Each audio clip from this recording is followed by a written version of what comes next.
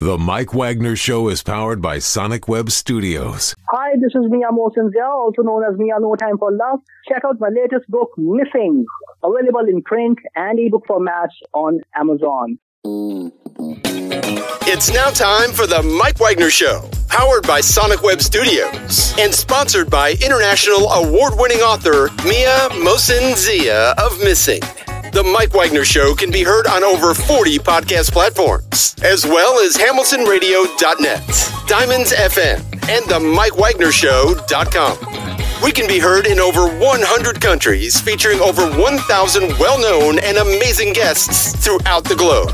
And named one of the top 100 global podcasts in the New York Weekly Times, Hollywood Entertainment News, Los Angeles Weekly Times, Apple, and Chartable. So sit back and relax and enjoy another great episode of the award winning Mike Wagner Show.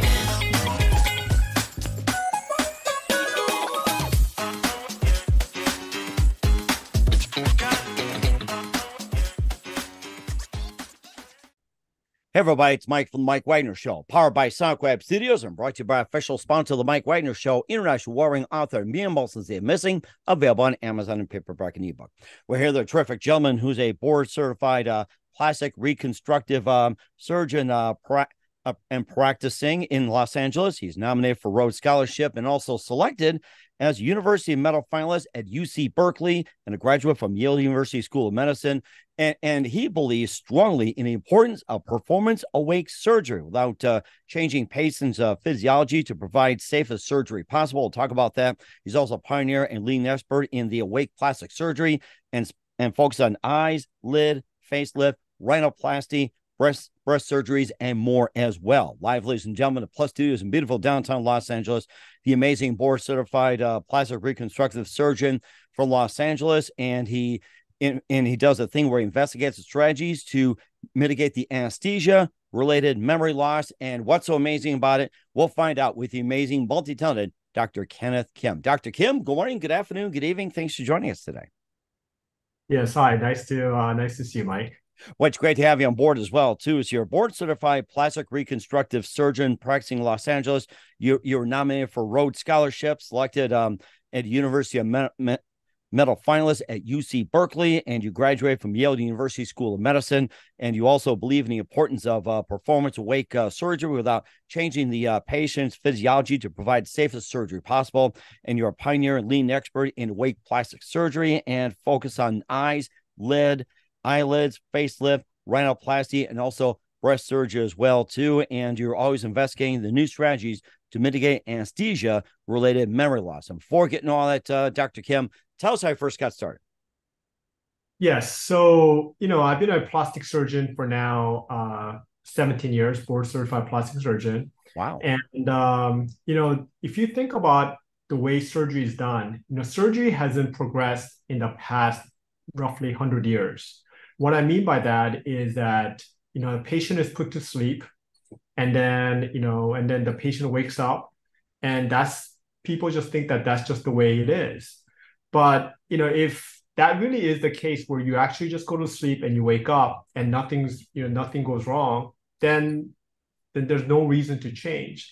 But the fact is, is that general anesthesia has its own inherent risk. So what are they? So you know these are blood clots. So people's blood can clot and that can cause um, pulmonary embolism which means you're having difficulty breathing. That can be life threatening threatening. People can have a heart attack. Um, i mean there are, people can have a stroke.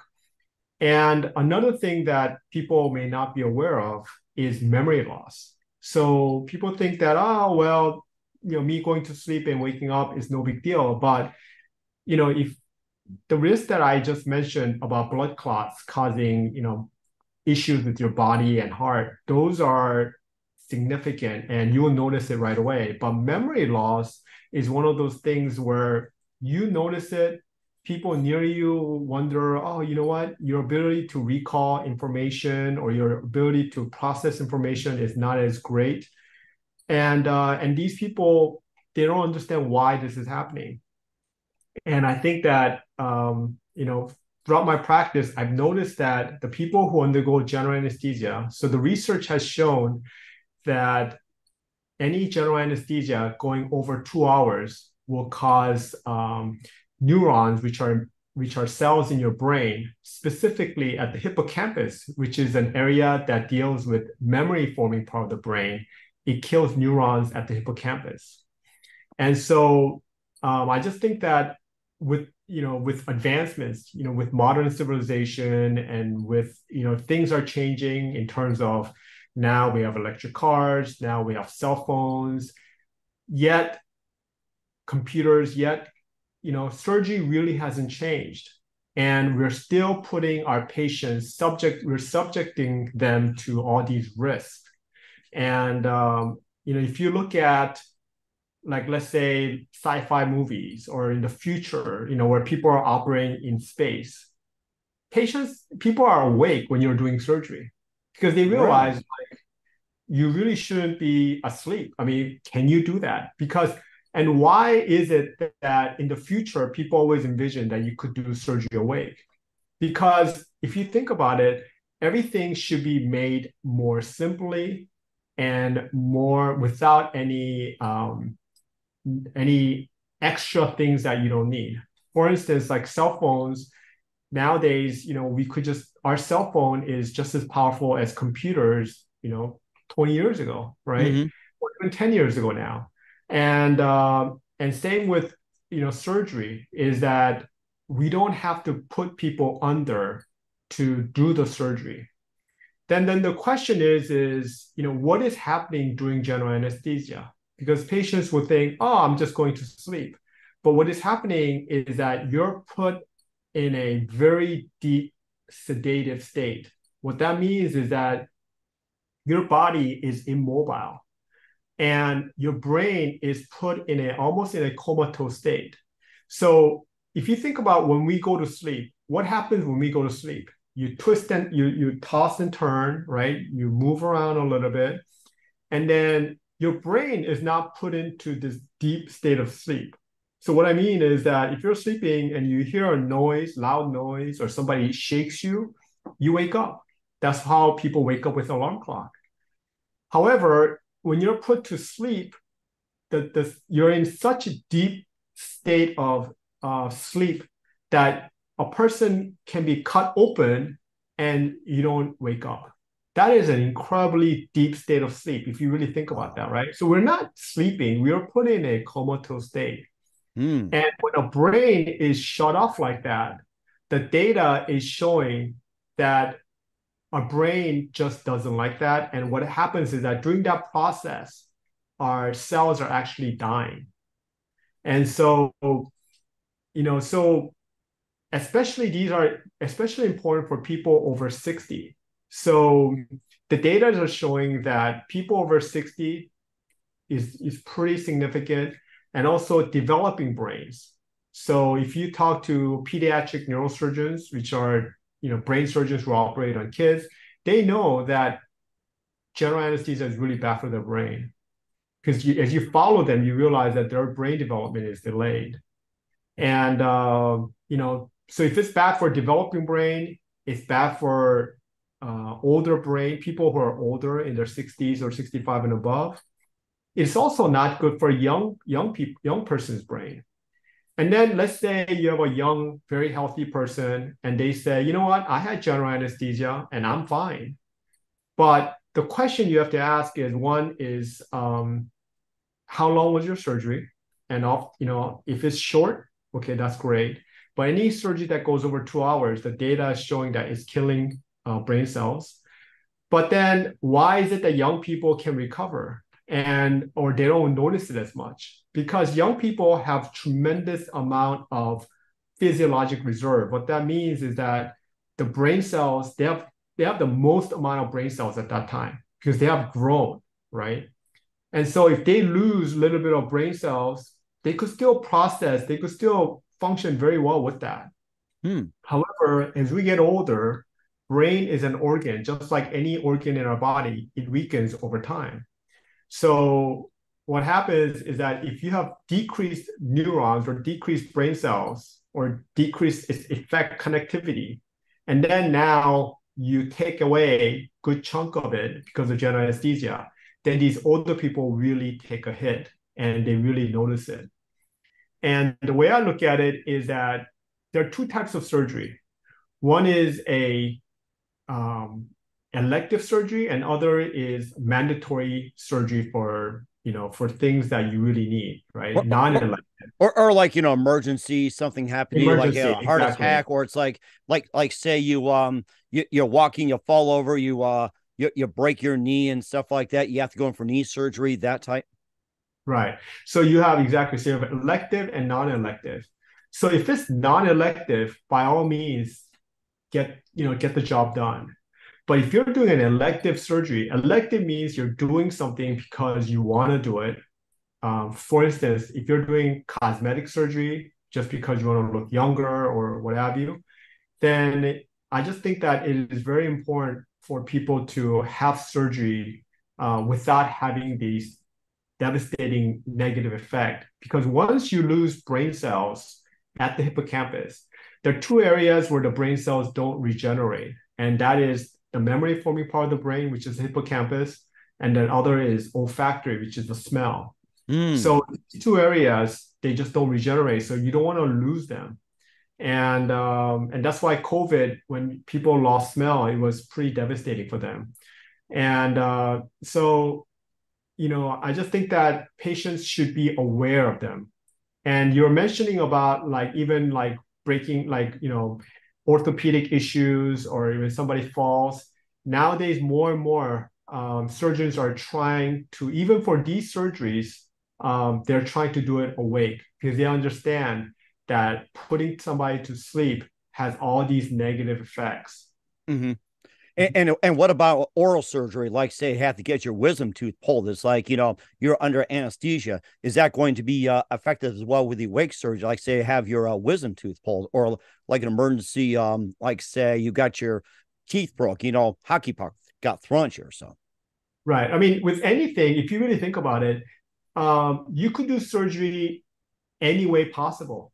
Um, so initially, the his, you know historically, the general anesthesia came first, right? And then the general anesthesia was used to put animals to sleep, and we're using those um, the gases, right? And uh, so, and then we have now local anesthesia. So what I'm, ad- what I'm advocating is use local anesthesia rather than general anesthesia. So let's say, um, you know, we all know that when we go to the dentist, we just a lot often we use just we get numbing shot and then we get the procedure done. Um, but for the rest of the body, you could still do that. And so if you're doing like a facelift, you're doing eyelid surgery, rhinoplasty, breast augmentation, there's no reason to be under and subject yourself to that, to the, the effect of memory loss. Again, I'm talking about like heart attacks and blood clots. Those are not as common. So, you know, I think that's okay. And, and what I mean okay is that, you know, the, the, the chances of those are not as great. But memory loss, it hits everybody Mhm. because there's there's no it, there's, that's something that you can't avoid. Mhm. And You- you- surgery is going over two hours. Yes. Mhm. Now, now you talk about the blood clots as well, too. You know, affecting surgeries and everything like that with anesthesia and everything. Do- does it affect all blood types, like O positive, O negative, A positive, A negative, B positive, B negative? Does it type all, all of them, or is it just certain ones? Yeah. So blood clot is the reason why the blood clot happens. The answer is it happens for everybody. It does. And the reason why blood clot happens is because you're immobile. So if you're riding in an airplane, I don't know if you remember Dan Quayle. He was a vice president under uh, George Bush Senior. I remember. so Dan yes. Quayle had a blood clot traveling from uh, flying trans America, transatlantic. Okay, I mean trans-America. So he was going from one coast to another, and he developed a blood clot from sitting in an airplane for six hours. Oh my so goodness! doing- wow. Yeah. So so the way our body is is that our body was designed to be active.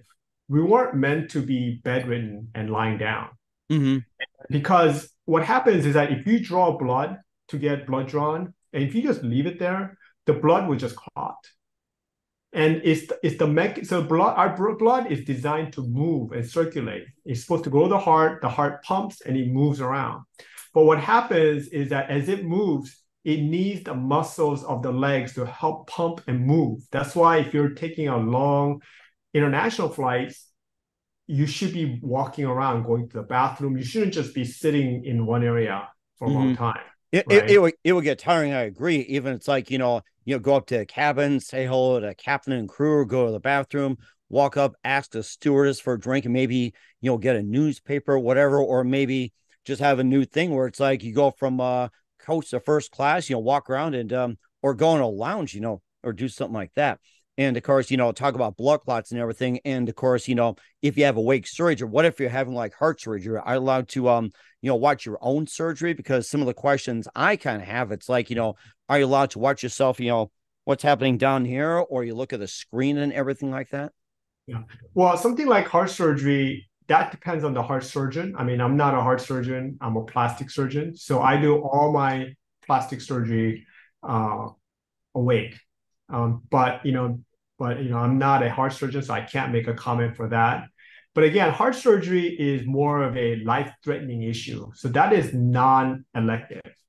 So I'd rather have the patient have the surgeon, the heart surgeon, be comfortable with what he or she is comfortable with and get the job done. So I'm okay. not talking about these type of life-threatening surgeries. You know, uh, what I'm talking about is an elective surgery, where a lot of surgery is elective. And another thing that is should be very startling for the listeners is that dementia is expected to triple uh, in year within the year 20 well year 2050 which is 27 years essentially 25 years later 27 years later oh my goodness it is wow. expected to triple so it's not going to double it's going to triple that is insane that is a that is a horrendous figure right there Mm. And so, what is going on? And I'm not saying that this is all due to surgery and this is all due to anesthesia. Obviously, there are other factors involved. So, what is going on in our modern society? Well, one of them is that a lot of people are also taking uh, anti-anxiety medications, mm-hmm. and a mm-hmm. lot of people are also taking sleep uh, sleeping medications. Mm-hmm. So research has also shown that sleeping medication and anti-anxiety medication is also bad for the brain, and that also is linked to dementia as well. Wow. Then the question again is why? Because you know, so many Americans, you know, more than 10% of Americans up to 20 uh, percent of Americans are taking either anti-anxiety medication or sleeping medications. And the data is showing that a lot of data, some other data is showing it's even higher. So why are so many people so with all those with and and then, then you have to think what is the problem here what's wrong with that what's wrong with taking sleeping medication because as i said our brain was not meant to be forcefully meant to go to sleep mm-hmm. and and even anti-anxiety medication is like you're forcing your brain to calm it down and so what i'm trying to let people know is that optimally you should live the way nature or the way our body was designed mm-hmm. and our body was designed to not, not be messed around with right and um you know again not so then there, there's a medical term called physiology right mm-hmm. make keep them in a normal physiology which means physiology means body function so if you could do surgery under normal condition, then there is no risk of that. We could just do what we need to do.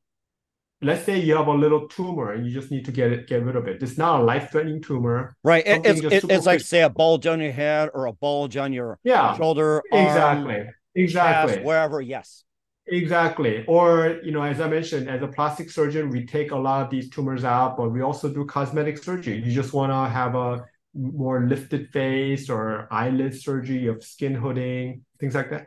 Mm. Just do it under local anesthesia. Mm-hmm. So the mm-hmm. whole concept is is how do you minimize collateral damage? And if you if I tell you, Mike, what I'm going to do is I'm going to get in there, take out the tumor, or I'm going to get in there, remove the excess skin and the, and the, the sagging muscle, and I'm just going to lift it back up. You're going to be like, and, and I'm not going to damage the tissues around it. You'll be like, you say, that sounds great. But if I tell you, you know what, I'm going to paralyze you, I'm going to put you in a comatose state, and then I'm going to cause a lot of trauma around it. You'd be like, ooh, that doesn't sound good. Mm-hmm. What do you mean by trauma around it? So if you're under local anesthesia, then sur- the surgeon has to be much more precise because they have to really, really stay within that area. So the surgery is much more precise. Mm. And also the pain is also significantly less. Mm. So what do I mean by that? So let's take an example. Let's say like you do a breast, like a woman does a breast augmentation. If a woman does a breast augmentation, she'll be in pain for about about a you know at least few days to a week. Some people even up to a month they're in pain. Whereas if you're awake, then first of all they're awake during the whole time, so there's no pain. They walk out right away. Compared to under general anesthesia, they have to be wheeled out on a wheelchair. Mm-hmm. And then that night, the patient she could just go ha- go out to dinner at a restaurant, or if she wants to cook, she could make her own dinner. Nice. And she could move her arms right away. Mm.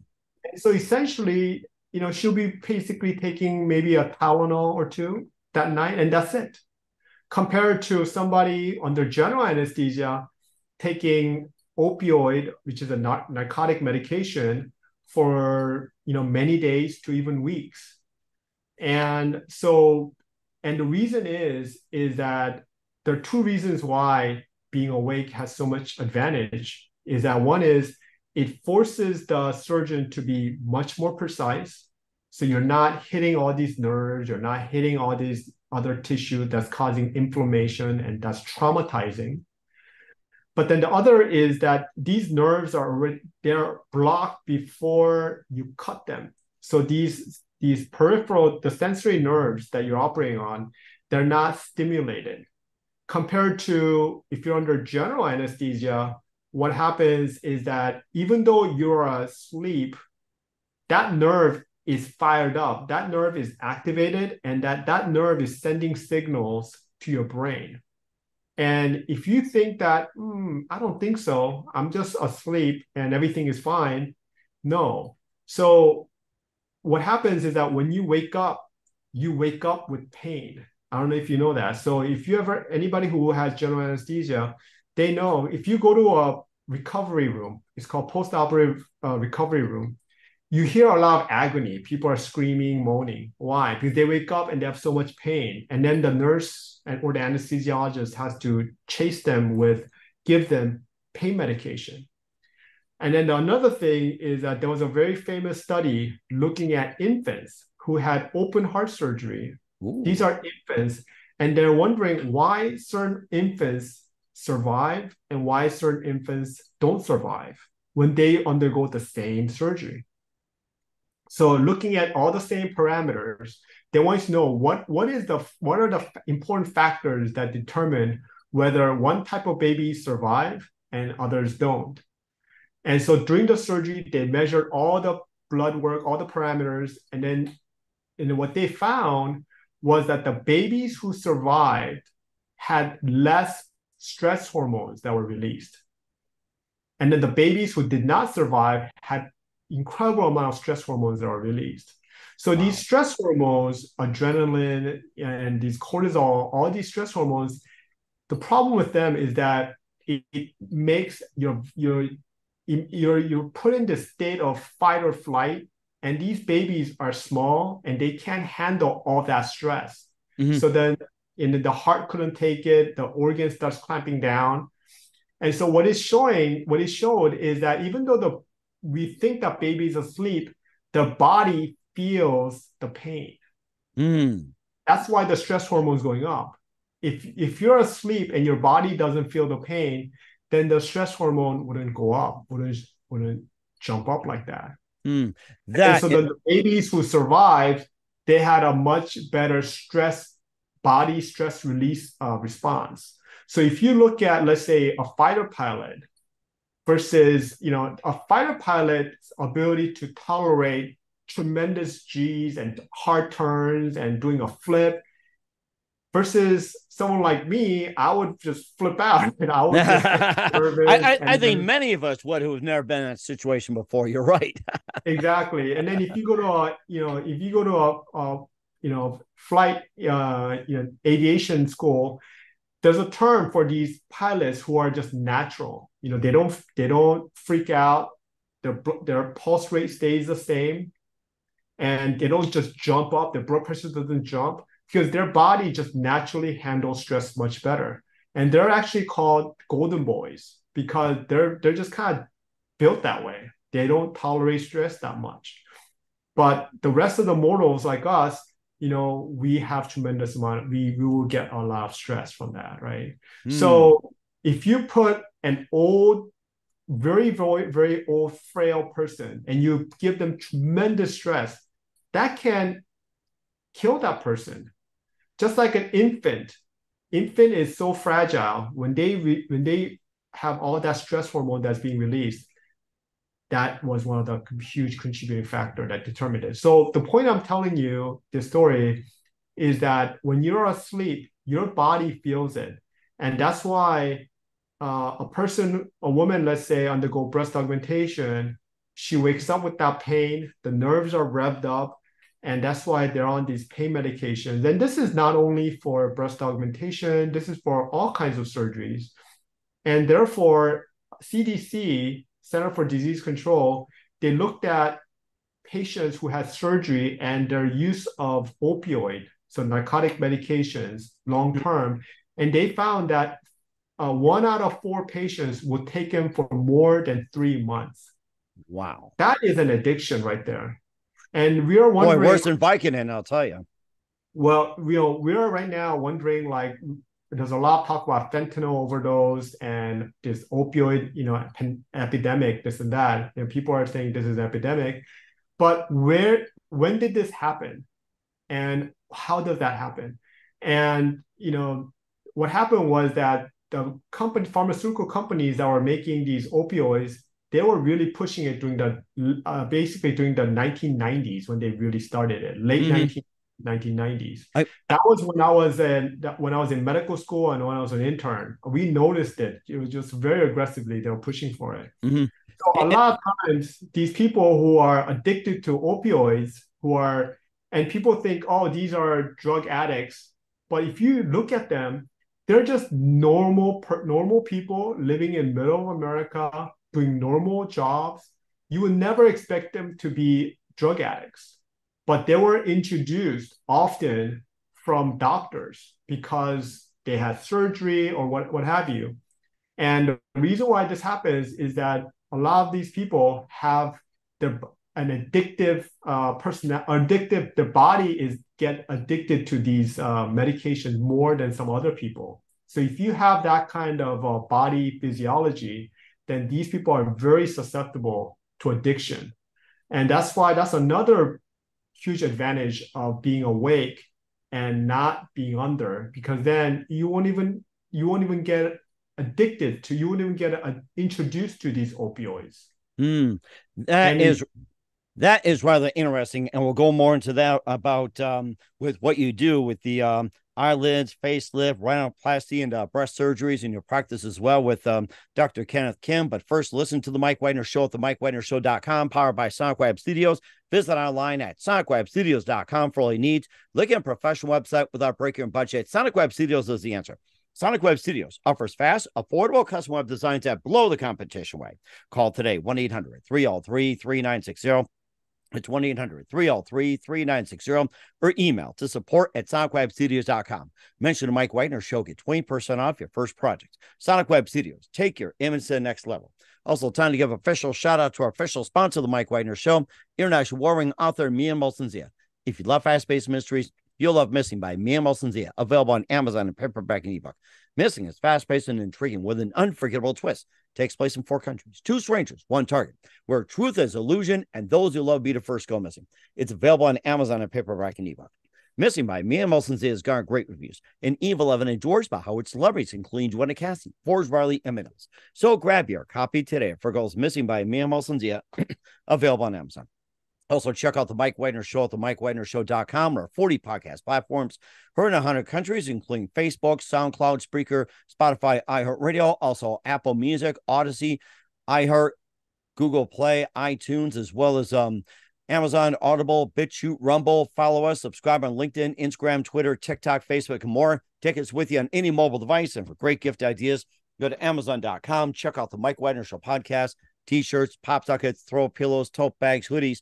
Makes great gifts 24 7. Go to Amazon.com. Check out the Mike Wagner Show podcast. And for more great gift ideas, go to Amazon.com slash me and Mohsin Zia for great books like Missing Once and Wrinkles, plus t shirts, pop sockets, hoodies, phone cases, and more. Amazon.com slash me and Mohsin Zia. Check it out today. Amazon.com slash me and Molson Z if you're looking for a gift for a loved one. And I'll support the Mike Wagner Show on Anchor FM, PayPal, and the Mike Wagner Show.com. We're here with the amazing board certified uh, plastic reconstructive surgeon practicing Los Angeles, Dr. Kenneth Kim, here on the Mike Wagner Show. And you've been doing this for quite some time, being a pioneer and leading expert in um, plastic surgery, being awake as well. You talked about um, the necessity of it. And um, how'd you first get into uh, plastic surgery and explain the route, um, how you how you got there in the first place? So um, when I was in medical school, um, I looked at certain surg- uh, looked at various type of surgeries. I knew that I wanted to be a uh, surgeon because I was, you know, good with my hands. Mm-hmm. And um, one thing that really intrigued me was that certain patients did really well. I mean, and and then certain patients didn't do well, and they're both doing the same type of surgery. And um, and then one one thing I noticed that when I would rotate through one particular surgeon, there was a one particular surgeon at Yale. His patients always did really well, minimal discomfort, and and I was like, what is it about this surgeon that he's doing that is so much better than other surgeons when other patients are in agony?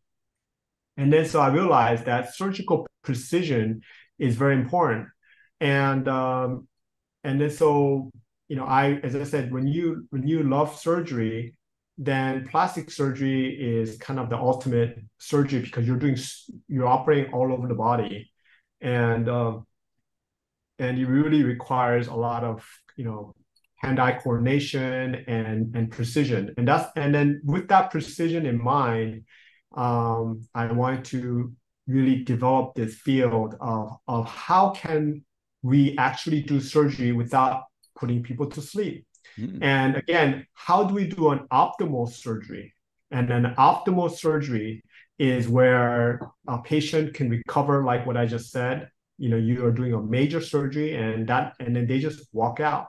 All these uh, TVs or movies where you see patients going to, you know, having surgery and they're being wheeled out and they're groggy, this and that. That is not what patient what patient what people should accept. Um, that should be in the past.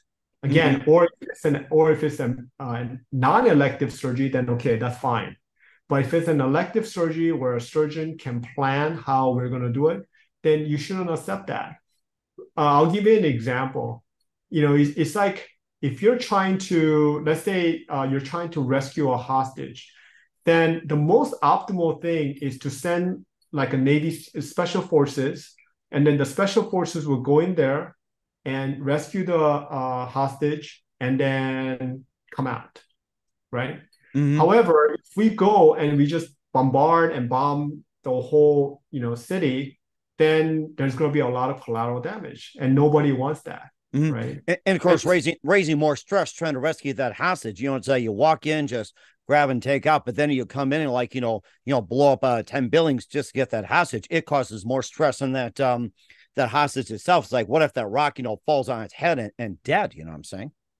Right. And then also the, the collateral damage that it's doing, right? So if the so if I'm if I'm doing the surgery and then let's say I injure the nerve, I injure other surrounding vital structures, then your body is paying the price, right?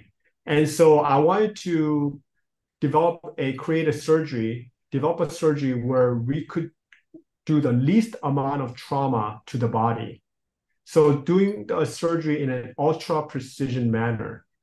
So again, if the surgery is done that precisely, then the patient will notice the difference. Mm. And um, and so one other thing also is not hitting blood vessels.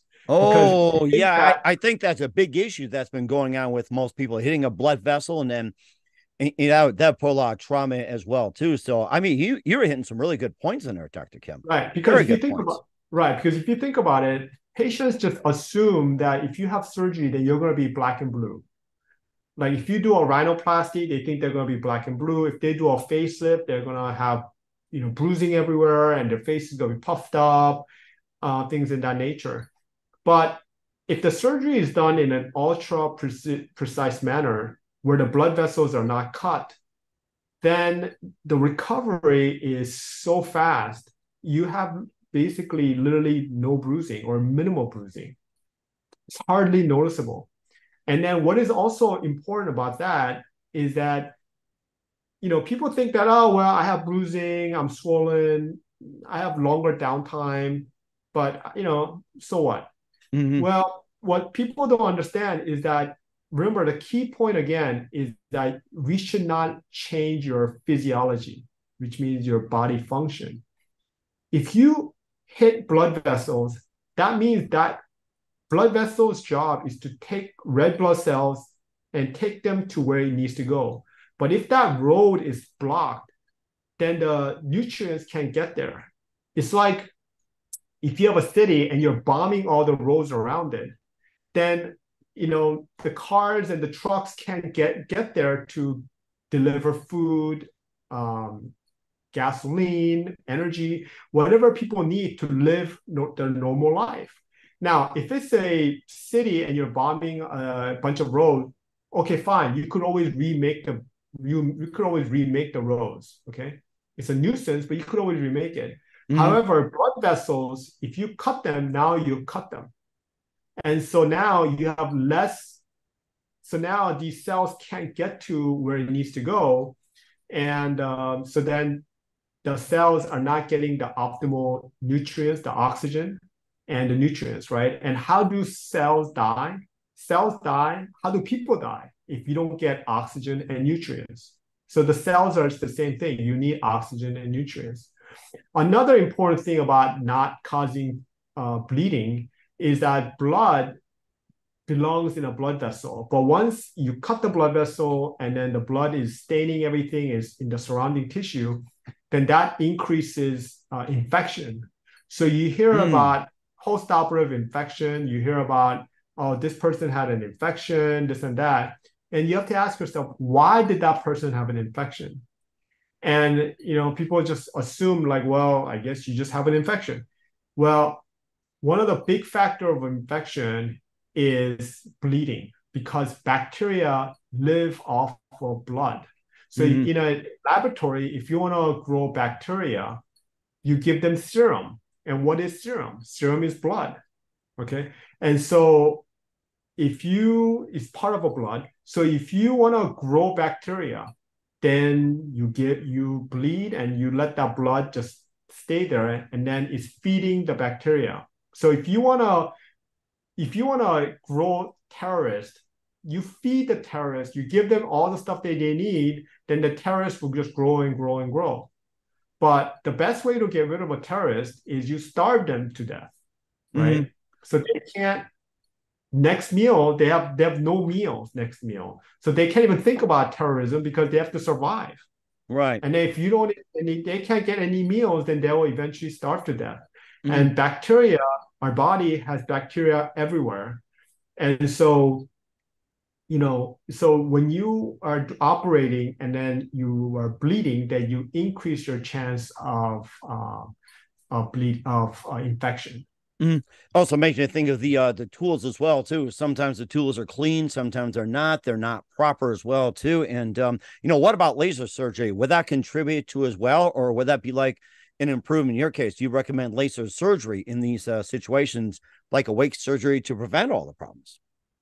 Yeah. So um, the thing about the tools is that at this point, you know, the tools being contaminated is so so so rare because you have to go through a sterilization process. And and so that sterilization process doesn't get broken because it's it's heated up in such an intense heat. So um, if you're operating you know in a modern society i don't think that is a major issue. Okay. um, and, and and if that was the case then let's say you're doing um, uh, going back to breast augmentation, you do one breast augmentation and you do another breast, you do two breasts. And uh, for women who are listening or husbands with or wives or guys with girlfriends who have breast augmentation, they realize that one side of the breast can become hard and the other side is soft. So that is called capsular contracture. And what capsular contracture is scar tissue formation, and that's making the breast hard. And capsular contracture happens because of bacteria overgrowth. It causes inflammation, and then your body has to fight with the bacteria, and it causes all this scar tissue. Then the question is, is why is it that it only happens on one breast? And if it happens to one breast, and then, or if it happens to both breasts, one breast is much more severe, and the other is very minimal, or only one breast. So if your uh, thought, which is contamination because of improper sterilization, then both breasts should have an infection, but it's not. And, and the reason why that happens is because of bleeding, because they have asymmetric bleeding. One side just bled more than the other. Hmm. Then you could say, why don't you control the bleeding? Why can't you just stop the bleeding, you know, during surgery? Does surgeon want bleeding to be all over the place? No surgeons want bleeding to be around. But the problem is, is that when you're under general anesthesia, naturally your blood pressure drops. So anybody who undergo general anesthesia, the blood pressure drops. So we as surgeons get a false sense of security that you're not bleeding. And so we're like, okay, so let's close and let's finish the case. But what happens is that when you wake up, you go back to your normal blood pressure. And then when you go back to your normal blood pressure, that is when the blood vessel starts leaking. Imagine mm. like a hose you, you decrease the pressure and there's no more water coming out. Now you turn the hose on, increase pressure, now the water is, coming out.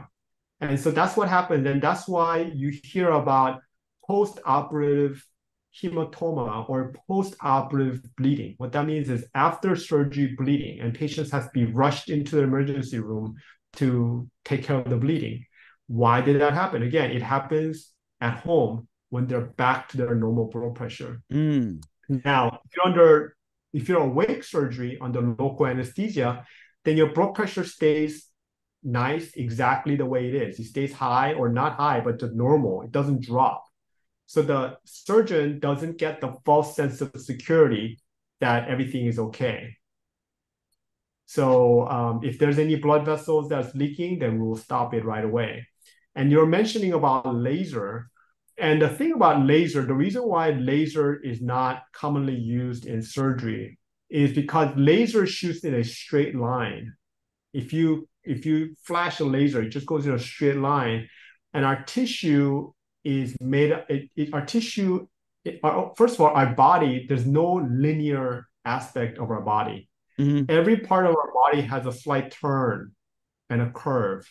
So if you shoot a laser, then it's not accurate. And that's why we don't use laser as much. Okay.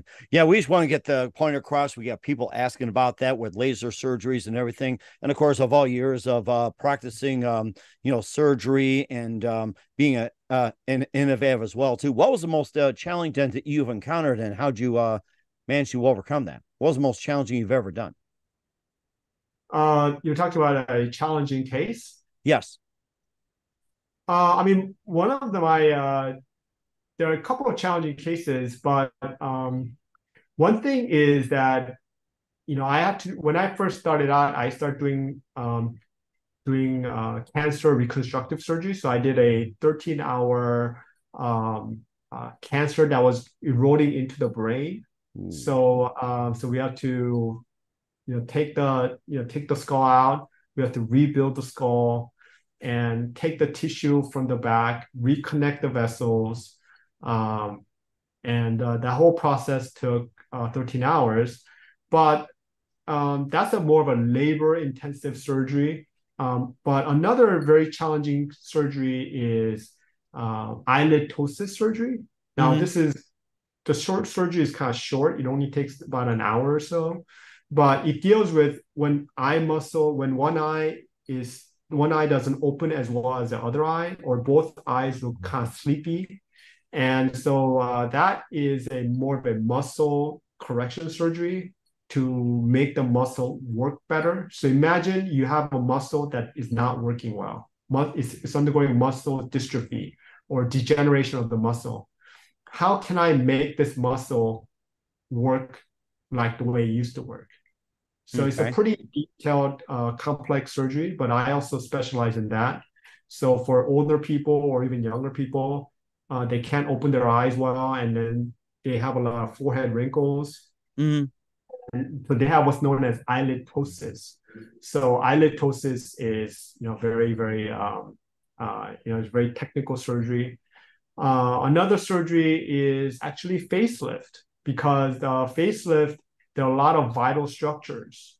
And, um, you know, again, this is an elective surgery. So to get the most optimal non-pulled look, because often patients think that their face looks very pulled because you're just yanking it. So you don't do that. You have to release everything, which means that you, our face has so many blood vessels. So not hitting those blood vessels, operating in such precise manner, and then reposition the tissue, um, that requires uh, one to do minimal bleeding technique. And if you do it well, then uh, patients will, uh, they just won't, they don't have bruising, visible bruising. Um, and if they want to see that, they could go to uh, my website is uh, drkennethkim.com, drkennethkim.com, or they could look at our YouTube video and they could see like how incredibly fast the recovery is because the surgery is so precise. Yeah. That is very interesting. And what's the website again? Is D R K E N N E T H K I M dot com. So drkennethkim.com.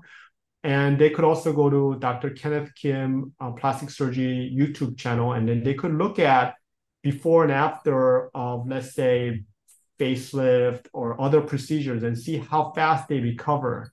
And I think patients and the people will be really, really be surprised what precision surgery, what it really is, and uh, and what they should also demand, or not, I want to say demand, they should request their surgeons you know, wherever they're living, they should ask their surgeon, hey, can you do this awake? Because, you know, uh, you know, we're people are living really long time now. Oh, and yes. um, and you know, we think that as we get old, our kids will take care of us, but a lot of times the kids are living out of state and they're busy with their own lives, and it's very difficult for them to take care of um, an elderly person. And when the person start having dementia, it is you know you really need a caregiver and um, you know and i think that we have to do everything we can to protect our brain and um, you know and i just think that it is completely unnecessary and do the surgery in the safest way possible and um, and you know and i think more patient more people understand that you don't have to accept the status quo. You don't have to take risk with your life. Mm-hmm. True. Especially for an elective procedures. And you know, because we're living so long now, you know, our bodies break down, people look older, and people want to look younger, they want to be more fit. Um, so people are doing more and more elective surgeries. And you know, I'm not against doing elective surgery. Uh, but what I am against is them uh, taking risk with their body or them doing something that we know is bad for their brain. Mm. And as I mentioned, you know, people, any surgery over two hours or any multiple surgery. So let's just say you do one hour surgery, but then next year you do another one hour surgery. That kind of repeated surgery is also really bad for the brain. And I just want patients to not, I just want people to just be aware because, you know, it's really terrible when they're not, they don't know. And then later on, they're like, oh, I just didn't know. Uh-huh. And I think with all these uh, modern advances, you know, we mm. should let the word out mm. um, mm. so that you know, they could, you know, so they're mm. aware.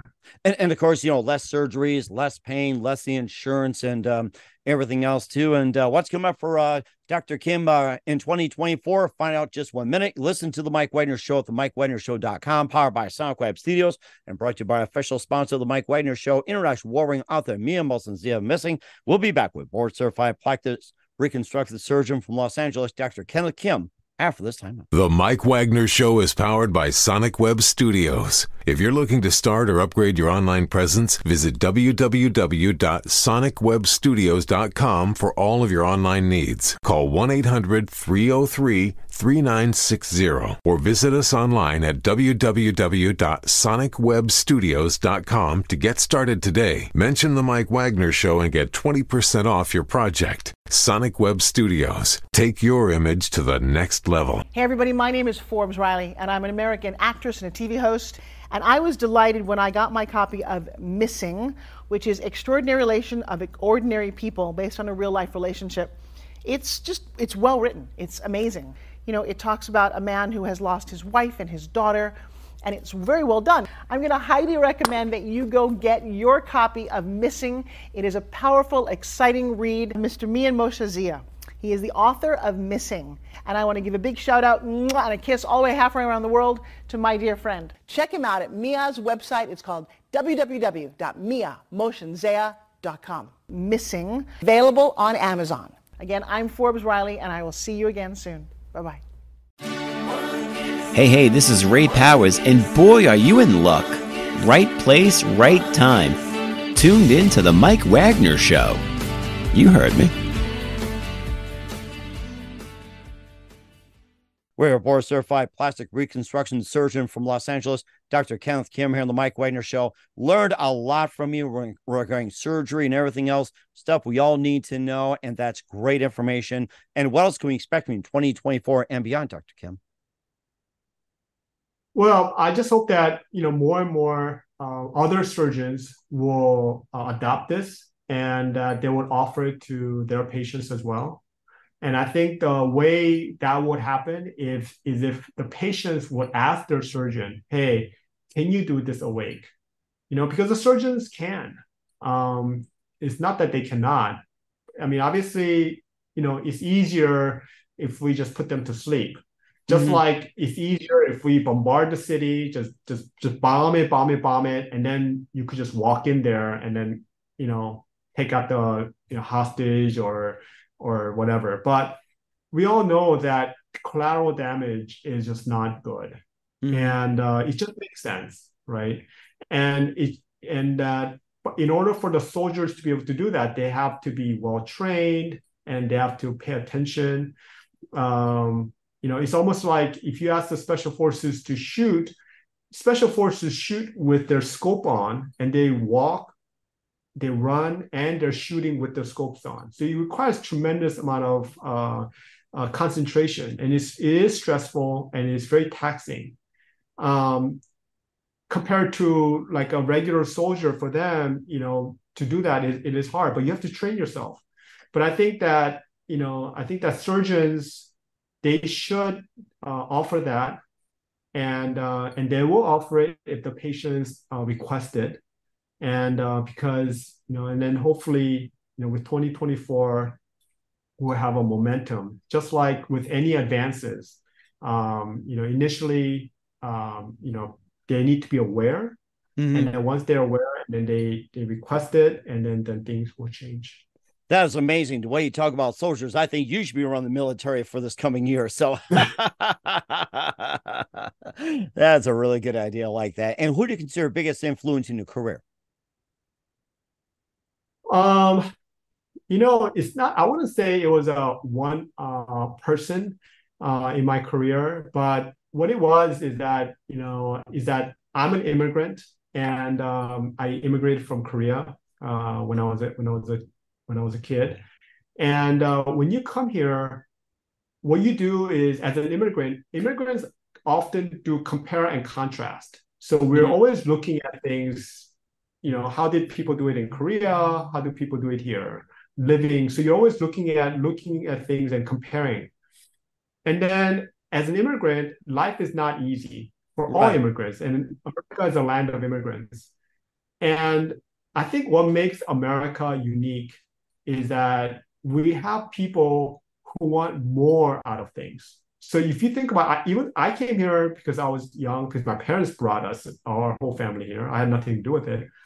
But the people who actually make their journey here, they come here for a better life. And I think for me, my parents' mindset was ingrained in me. And I looked at every situation and I said, how can we make it better? Because as an immigrant, um, unless you come with a lot of money or a lot of support, it's a tough life. Right. And you always try to you always try to have an ideal situation, an optimal, an ideal condition. And so I think that helped me think about how can we have an ideal surgery rather than accepting the status quo. Because if you're always thinking, how can I make my life better or how can I make surgery better? Again, the moment I loved surgery in medical school, the first thing I thought is, how can I make this better? Mm. So it's that kind of a mindset that I think really helped me to hmm. create mm. the most optimal that's why America, if you think about it, you know, we say America is a land of dreams and this and that. It's because America is has a lot of entrepreneurs and we have people who want to make things better, right? They want to improve the condition. And, and, and that's how I look at it. And that's how I look at surgery. It's like, how can we make surgery? It hasn't changed in over 100 years. Mm-hmm. Why has it not changed? Because right. the surgeons will say, you know what? it's much easier if the patient just goes to sleep. I don't have to be precise. I don't have to be wearing loupes. I don't have to have you know mental uh, strain of doing all that. I'd rather just fire, you know, fire, you know, with a machine gun, right? Versus a uh, special ops, you know, special forces, they take individual, boom, boom, boom. They take individual shots, right? And so um, yeah, so I think is is that the the idea of how can we create the most ideal or optimal state. Mm-hmm. And that's very interesting as well too. I really like that. And what's the best advice you can give to anybody at this point? I say that you know, I say do your own research. Nobody cares about your body more than you. You know, we always we always want to think that yes, our doctors care about us, but and they do. I'm not saying that doctors don't, but you know, often it's human nature to just do the status quo. You know, uh, you know, if you study physics, uh, Newtonian physics, you know, things in motion stays in motion. Things that are stagnant, you know, they they stay stagnant. So it's not in our human nature to change things because in order to improve or make things better it takes a lot of work. Uh, these special forces members did not become that just because they wanted to volunteer. No, they had to train to get there. And that and so, you know, I just want people to just understand that they have to look after their body. And that's why I want to talk to you about this is because I want them to know, be aware and then make an informed decision. But what is unfortunate is that a lot of people they don't even get to hear about this. And then after they undergo general anesthesia and they lose memory, by then the damage is already done. There's mm-hmm. no turning back at this point. You only have one life to live. And with that one life, with your body, you have to protect it and you have to make sure that you're get you're doing something that is least damaging to your body. And that is so well said, Dr. Kim. That's well said. We're here with um, board certified plastic reconstruction surgery practicing Los Angeles, Dr. Kenneth Kim on the Mike Wagner Show. Dr. Kim, very big thank you for your time. You've been absolutely fantastic. Definitely learned a lot from you. Looking forward to having again soon. Keep us up to date. Keep in touch. Love have you back. Once again, what's your website? How do people contact you? And how do people inquire about your services and more? Yeah, thank you, Mike. Yeah, so yeah, people can just go to drkennethkim.com. Yes. Okay. I will certainly check that out. Once again, Dr. Kim, a very big thank you for your time. You've been absolutely fantastic. Looking forward to having you again soon. Keep this up to date. Keep in touch. Love have you back. Wish you all best. And Dr. Kim, you definitely have a great future have you. Thank you. The Mike Wagner Show is powered by Sonic Web Studios. If you're looking to start or upgrade your online presence, visit www.sonicwebstudios.com for all of your online needs. Call 1 800 303 3960 or visit us online at www.sonicwebstudios.com to get started today. Mention the Mike Wagner Show and get 20% off your project. Sonic Web Studios. Take your image to the next level. Hey, everybody, my name is Forbes Riley, and I'm an American actress and a TV host. And I was delighted when I got my copy of Missing, which is Extraordinary Relation of Ordinary People based on a real life relationship. It's just, it's well written. It's amazing. You know, it talks about a man who has lost his wife and his daughter, and it's very well done. I'm going to highly recommend that you go get your copy of Missing. It is a powerful, exciting read. Mr. Mian Mohsin Zia. He is the author of Missing. And I want to give a big shout out and a kiss all the way halfway around the world to my dear friend. Check him out at Mia's website. It's called www.miamotionsea.com. Missing, available on Amazon. Again, I'm Forbes Riley, and I will see you again soon. Bye bye.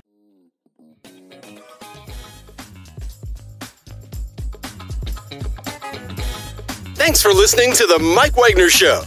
Brought to you by international award winning author Mia Mohsin Zia of Missing and powered by Sonic Web Studios. Be sure to join us again on over 40 podcast platforms. And of course on the MikeWagnerShow.com, HamiltonRadio.net, and Diamonds FM. Don't forget to support our program with a generous donation at the MikeWagnerShow.com. Thanks for listening.